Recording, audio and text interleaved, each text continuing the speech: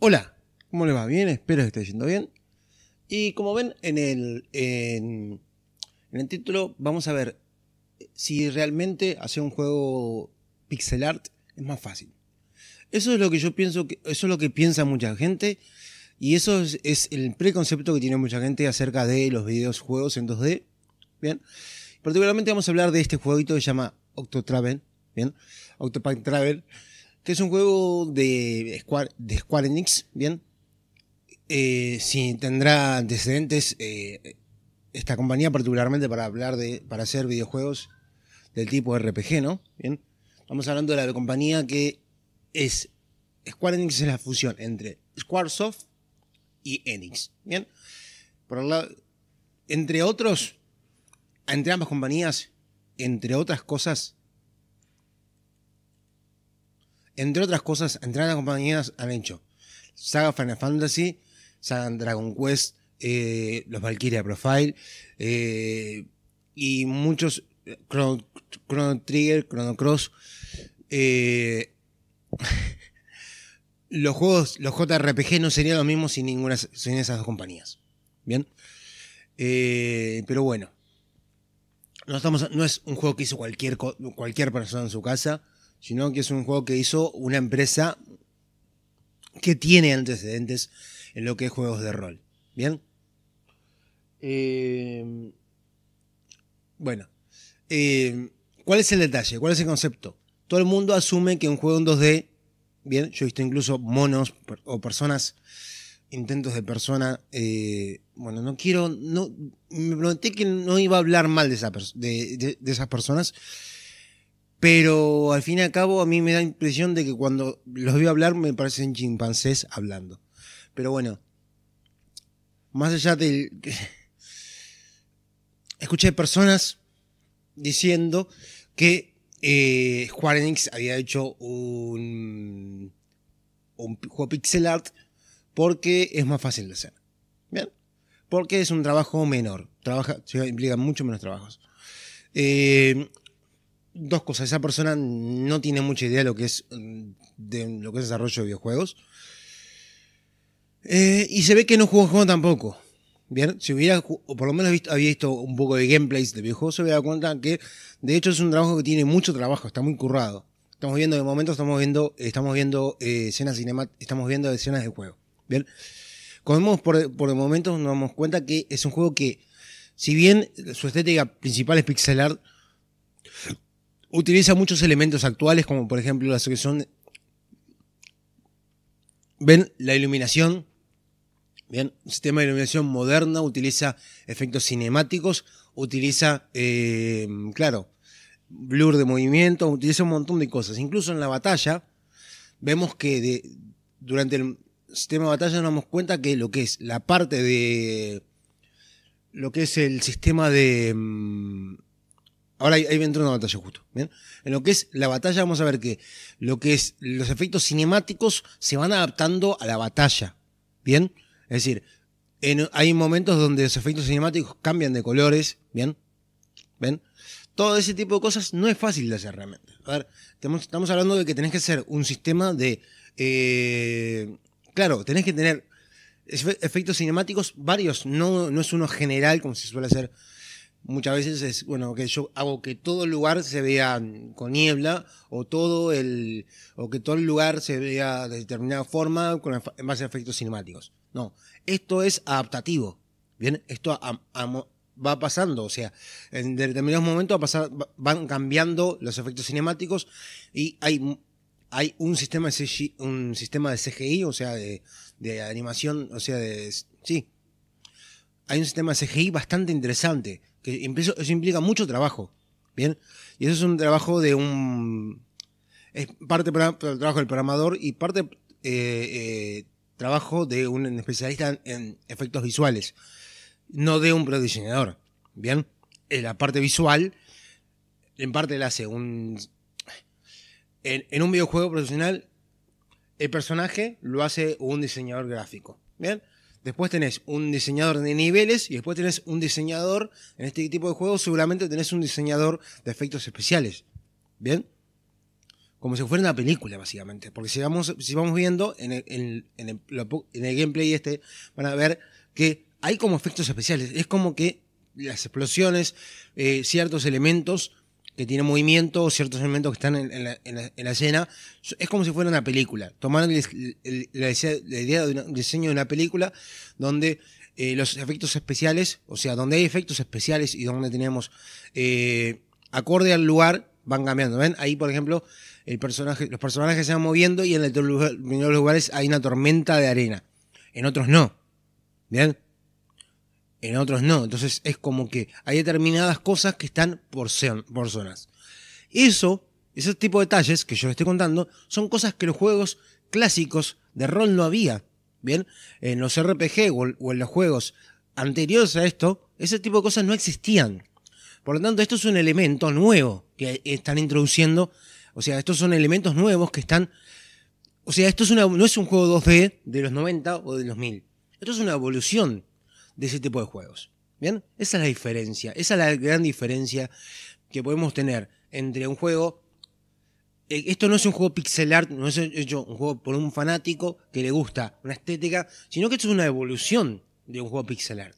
Lo mismo que pasó con detalle particularmente con lo que pasa con algunos juegos de PlayStation 1. ¿bien? Hay algunos juegos de PlayStation 1 que son 2D, 2D, sí, son 2D, pero no es 2D clásico, es 2D que tiene ciertos elementos nuevos. Bien, esto por ejemplo, si ustedes se fijan, tiene un, montón de movimientos, tiene una fluidez en, los movimientos que no tenían los juegos originales. Bien, los juegos en los 90 o en los, los 70, los 80, los 90 de este tipo, no tenían esa fluidez en el movimiento como sí lo tienen ahora. Bien, la fluidez en el movimiento está dado por las animaciones. A día de hoy las animaciones son más suavizadas y, y son más complejas. Bien, entonces, más o menos, eh, hagamos un, repaso de cómo se haría un juego de este tipo. ¿Bien? ¿Cómo se haría un juego de este estilo? ¿Bien? Y más o menos la diferencia entre que había entre un juego 2D y en tres dimensiones. ¿Bien? Un juego en dos dimensiones, en esencia, son sprites, son imágenes en movimiento. ¿Bien? Es como una especie de caricatura. ¿Bien? El concepto es muy similar. ¿Bien? En una caricatura tú lo que tenés es, eh, que dibujar cuadro a cuadro el personaje ir moviendo ese personaje. Bien, entonces tú haces un primer dibujo donde está parado, haces un segundo dibujo donde el personaje está moviendo un pie, un tercer dibujo donde mueve el otro pie, bien, y entre esos cuatro o cinco frames haces un movimiento, haces un movimiento. Bien, este tipo de juegos se hace algo parecido. En este juego también hay que se dibuja cuadro a cuadro. Bien, ahí tiene que haber un artista dibujando cuadro a cuadro cada uno de eh, esos, eh, cada uno de esos eh, personajes. Y además, si ven las animaciones, o sea, lo que es la parte de las animaciones los amigos, también están bastante trabajadas. incluso hay efectos cinemáticos en las animaciones de del ataque. ¿Bien? Ven, incluso los efectos cinemáticos están incluso en los personajes. Por, por momentos, los personajes tienen sus propios efectos cinemáticos. Ese tipo de cosas, el aura, cosas por estilo. ¿Bien? Eh, quizás no son efectos cinemáticos, sino que son más bien efectos gráficos, efectos visuales, pero bueno, hay también cosas que ese tipo de cosas no existían en los juegos anteriores. En los juegos viejos no, estaban, ¿bien? Entonces son todas cosas, innovaciones. Eh, vengamos la diferencia. ¿Cuál sería la diferencia entre un juego 3D y un juego 2D? Un juego 3D, vos lo que son modelos, ¿bien? Hay, tenés que hacer un modelo, ¿bien? donde, bueno, ok, es tridimensional, es de adelante, de atrás, del costado, todo. ¿Bien? Entonces, particularmente después lo que haces es, lo que pasa es un animador, y un animador, lo que básicamente lo que hace es, posar ese personaje, ¿bien? Entonces, haces, captura, va por cuadros, ¿bien? Va por cuadros y va posando, va moviendo los huesos, va moviendo cada uno de los huesos y acomodándolo eh, para que haga una animación. ¿Bien? En cambio, en un personaje 3D no puedes hacer eso, porque tú no tenés huesos, no tenés, no tenés un objeto en 3D, tenés un objeto en 2D, que al fin y al cabo es un dibujo. Entonces tú cada cuadro tenés que dibujar, tenés que tomar como referencia al anterior y cambiarle el dibujo. Bien. A día de hoy incluso es mucho más fácil hacer las animaciones. Porque a día de hoy se hace captura de movimiento. Simplemente se pone una persona con un traje, ¿bien? Se pone una persona con un traje especial, esa persona se mueve y después lo que tú haces es con un software de reconocimiento, lo que haces es convertir esa información en la animación y la pasas al personaje. ¿Bien? Eso es captura de movimiento. ¿Bien? Eso es algo que igualmente se viene haciendo hace muchos años ya. ¿Bien? Juegos como Mortal Kombat ya utilizaban captura de movimiento. ¿Bien? Kombat de los 90 ya utilizaba captura de movimiento. Eran captura de movimiento muy primitiva, todavía no eran como movimientos muy, muy, cuadrados, muy claro. Pero ya había. ¿Bien? Eso, por ejemplo, la captura de movimiento en 3D no se, 2D no se puede hacer. ¿Bien? Entonces, yo con esto estoy diciéndole que los juegos 2D son más difíciles que hacerlo que los 3D. No. No, no, no, no estoy queriendo decir eso. Cada uno implica una dificultad diferente. De hecho, la persona que vaya, a hacer, vaya a hacer los modelos para el juego en 3D seguramente no va a ser la misma persona que va a hacer el modelo en 2D. ¿Bien? Porque aprender a hacer un modelo en 2D implica un trabajo, implica un... Eh, eh, claro, implica un conocimiento de parte de, del, de años, claro, de estética y un montón de cosas en, en la persona, ¿no? Bien, el desarrollo, en, el diseñador. Por lo tanto, por lo general, los que hacen, los que hacen el diseño 2D no hacen diseño 3D. Son Puedes encontrar alguno, pero por lo general no. Por lo general el que hace animaciones, o sea, hace, hace personajes en 3D, hace en 3D y el que hace en 2D en 2D. Porque son, incluso son cosas diferentes. Porque el que hace 3D tiene que ser un modelador. Bien, es un modelador. Es un modelador, es una persona que se dedica a hacer elementos en tres dimensiones. En cambio, el que hace 2D es un eh, diseñador gráfico. Es una persona que se dedica a trabajar con imágenes. Bien, empezó aprendiendo imágenes, empezó a lograr, son, son ramas diferentes dentro de, lo que es eh, videojuegos o en general de diseño son ramas diferentes. Una cosa es trabajar con imágenes, ¿bien? O con, particularmente con diseño basado en imágenes, ¿bien? Y otra cosa diferente es trabajar con diseños basados en 3D, diseños basados en polígonos. Son cosas diferentes. Uno es un modelador y el otro es un diseñador. Uno, modela y el otro dibuja. Son cosas diferentes. Eh, es como que me digas, no sé, un arquero y un delantero, ¿no? El, arquero y el 9, no. El arquero no puede jugar de delantero porque le van a cobrar mano. Y el delantero no puede jugar de, arquero porque, entienden lo que digo, son dentro de la misma, son cosas diferentes. Son cosas totalmente diferentes. ¿Bien? Y particularmente el detalle es que la mayoría no toman en cuenta es eso, es que no, no es fácil hacer un, juego en 2D. Seguramente lo que todo el mundo piensa es que todo es que nosotros usamos, no sé, o sea que la mayoría utilizan, no sé, como que plantillas, ese tipo de cosas. A este nivel no creo que utilicen plantillas, no, difícilmente. Y además que hay que tener en cuenta una cosa, una cosa que tener en cuenta, una cosa en, cuanto a juegos 2D, y es que tú los juegos 2D no tenés una referencia. ¿Bien? Mientras que los juegos, mientras que los juegos 3D, o sea, que lo, que es eh, animaciones en 3D, yo puedo agarrar una persona y dibujar una persona, bien, puedo... Mm, qué tan bien va a ser depende del nivel de detalle que le ponga yo, o qué tan bueno sea yo modelando. En un juego 2D no. En un juego 2D yo me tengo que inventar el personaje. Por lo tanto, o sea, tengo que crear un diseño, tengo que inventar un diseño, tengo que inventar todo un universo prácticamente. ¿Bien? Estamos hablando de particularmente un juego de este tipo contra un juego de un juego 3D, por ejemplo, como puede ser un blockbuster, por ejemplo, como podría ser un no sé, como podría ser un juego como Call of Duty, ¿bien? Call of Duty es un juego que particularmente tiene ese detalle, es que eh, yo quiero los personajes, lo que es la, como se ven por fuera los personajes, yo tengo que simplemente agarrar un.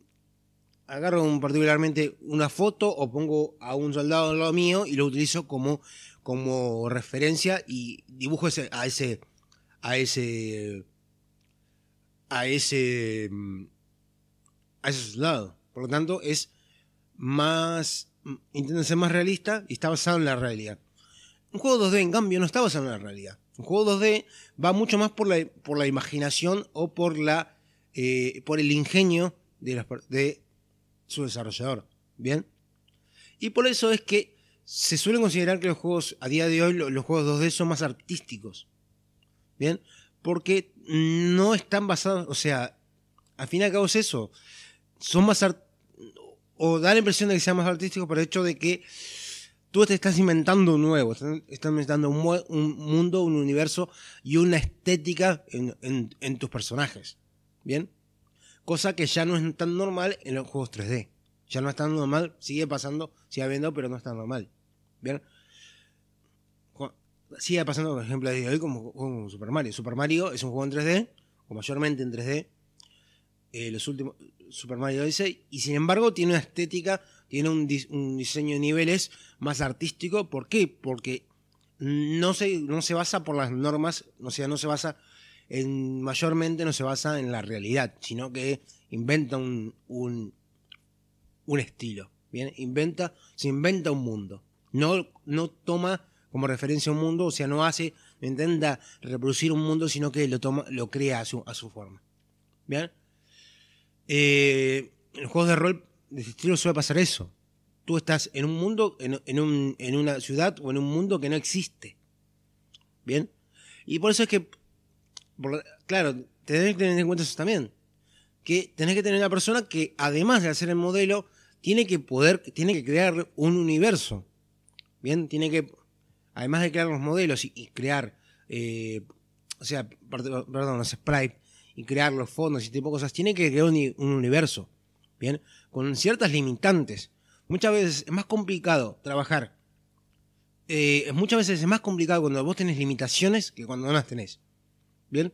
A un modelador, si vos le decís a un modelador 3D, si que, em, que haga un modelo mm, de, con muchos polígonos, que no tenés límite con los polígonos, porque no eso, ese, ese personaje no se va a renderizar en tiempo real, va a estar más aliviado que si vos le decís que es para un juego, que para un juego sabe que él sabe que lo tiene que optimizar y tiene que reducir un montón y va a tener que utilizar un montón de recursos para que se siga viendo bien y que consuma menos recursos.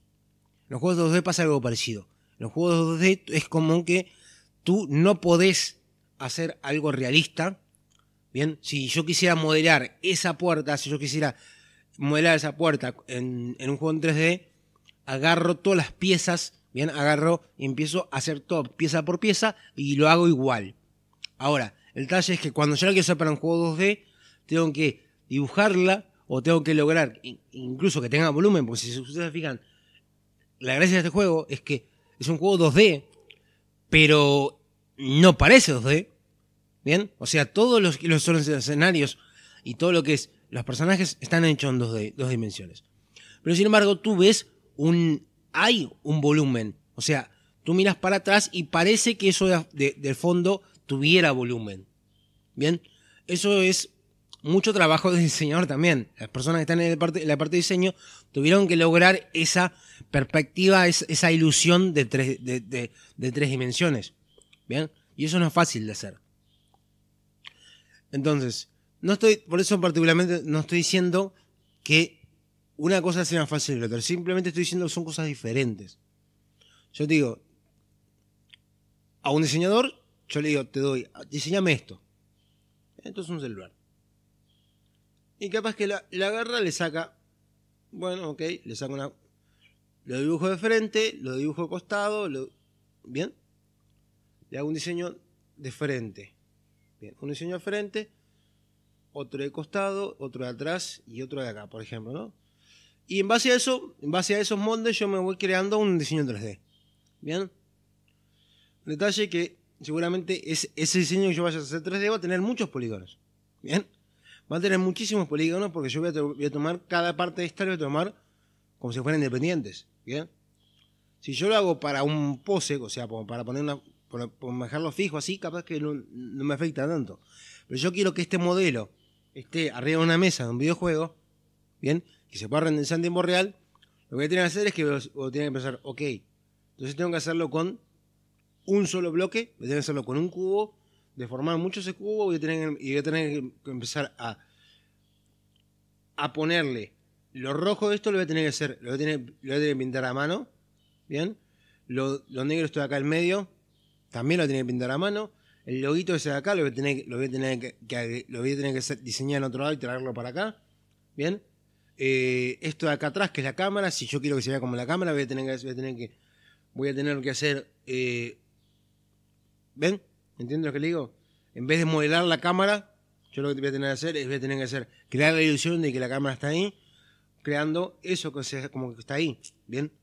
Que es. eh, o sea, para diseño 3D también se utiliza esos, esa idea de eh, crear ilusión en 3D. ¿Bien? Que va a ser un elemento 2D en- de crear ilusión en 3D. ¿Bien? No es tan fácil como la mayoría piensa. No es tan fácil como muchos. Bueno, espero que no les haya, quedado que les haya parecido muy largo. Y bueno, pero ya tenía ganas de contarles esto. Y bueno, ahora sí, nos vemos en la próxima.